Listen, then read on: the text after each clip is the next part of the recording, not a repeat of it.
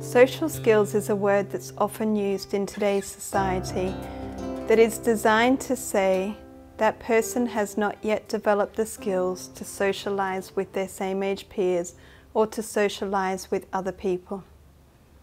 Social skills to me are about developing a relationship with other people. Social skills are about the interaction between two parties or between multiple parties. Social skills is about supporting people to be able to embrace and learn from every interaction that they are a part of. Social skills is about connection and connecting to another person and developing a means of understanding another person.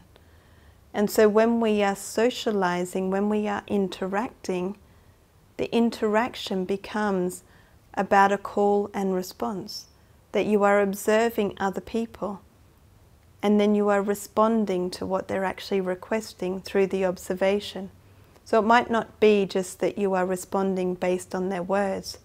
You are responding to everything about their body at that time. You are noticing when they may have a reaction.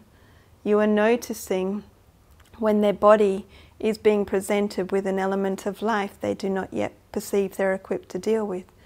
You are noticing everything about that person and you are coming into that interaction with an opportunity to be able to respond to whatever is going on in that interaction.